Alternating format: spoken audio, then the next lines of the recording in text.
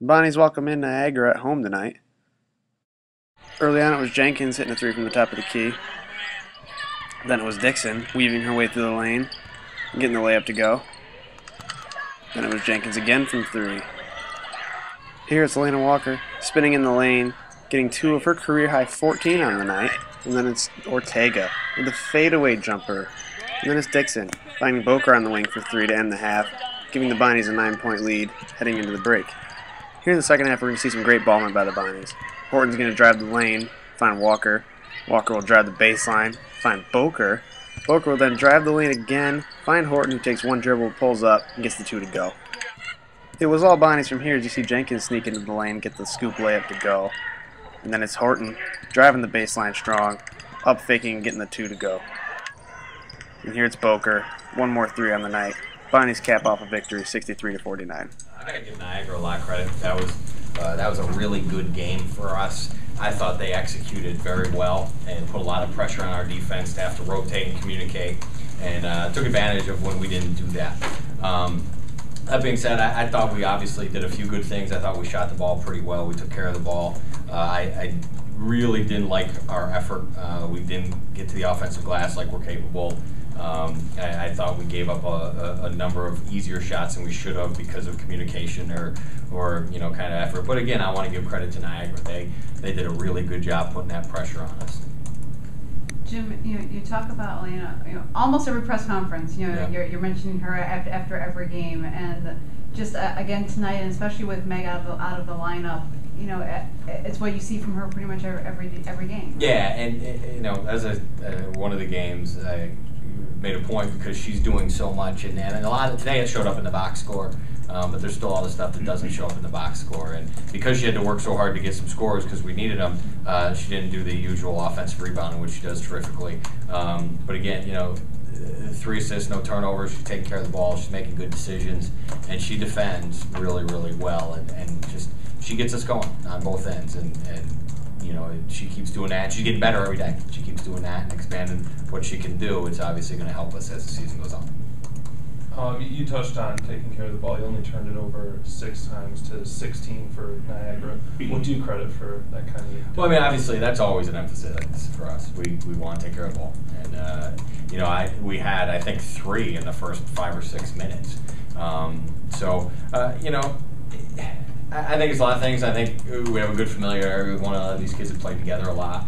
You know, obviously it's a it's a point of pride for us. It's something we emphasize. So uh, I think it's more just that kind of familiarity and, and emphasis on it. Um, it was uh, you scored a 37 in the first half, which is I think three less than your best on the season. Um, do you like that kind of pace? I don't mind it. You know, I think uh, we've got kind of a reputation as a slowdown team, and uh, I, you know, I, I, just think we take good shots. And some people consider that slowdown. I consider it that we take good shots. And we got good shots earlier, um, and and we were able to to convert on some of those and.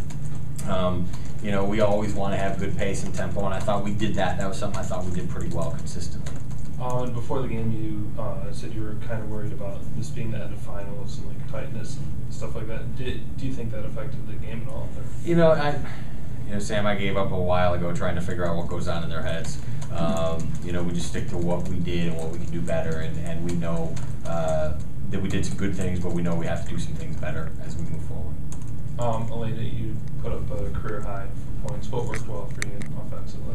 Um, probably just doing what I do best, which is driving, attacking the basket, and um, I I was able to get there. They weren't really stopping me, and when they did, I was able to find open teammates. Oh, did you? Not, not pressure, but you know, with, with Megan out, did, did you look to maybe score more tonight than, than normal, or was it the same as, as as always out there? Oh, it's probably same as always. Uh, today they just, you know, the, the shots were falling, mm-hmm. and sometimes they don't fall, but today they were falling. Um, Alaina, coach had talked about how, um, like, all the players kind of take pride in winning these Big Four games. Do you, do you uh, I mean, since Bonaventure hasn't lost a Big Four game since 2006, do you, do you see that, see it that way? Do you take pride in playing these kind of games? Yeah, I take, well, I take pride in playing everything that we play. It's it's very, especially with me, I'm more of defensive mindset, and you know, then offense comes second. But um, I don't, I don't know how else to put it. Uh, Alaina, can you talk about that defensive mindset that, that you have. I mean, obviously you had a career high today in points, but but defense and you're often guarding the, the best player on best offensive player on, on the other team, and you know, just talk about what your mentality is on, on defense. um, probably set the tone for my teammates to follow, because um, I know if I if I come out and don't set the tone, then we're all off, off page, and um, I find it one of my responsibilities is to set the tone on defense, and that's what I do best, and I take that role very serious. Were there times? I mean, obviously Niagara did some, some things well tonight, but defensively, did, did you feel that there was a little bit something as collectively as a unit? There was a little something a little off at certain points tonight, or Um, probably miscommunications on some on some some points in the game, but um, at times we were able to fix it and cover up for another, which is what we do best. Jim, 33 minutes, 20 missed shots, no offensive rebounds.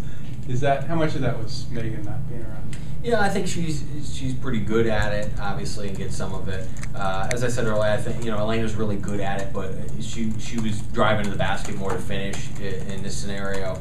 Um, you know, we we just we took the 13 threes, but a lot of stuff wasn't uh, jumpers. We took a lot of layups that we missed or shots on pulls that we missed. So, um, you know, we have some kids who are much better at offensive rebounding than they showed today. Um, so I, I you know. It's certainly not something we're going to go crazy about, but it, it's something. It's good to have an experienced team. They know what they don't do well, and they usually fix it okay. I, I assume if, if you really had needed it, maybe Megan could have played. I, you know, she she went through one-offs, and the deal was we'd go through one, we see how she felt, and she uh, she said it. She didn't feel 100, percent so that was all I needed to hear say no.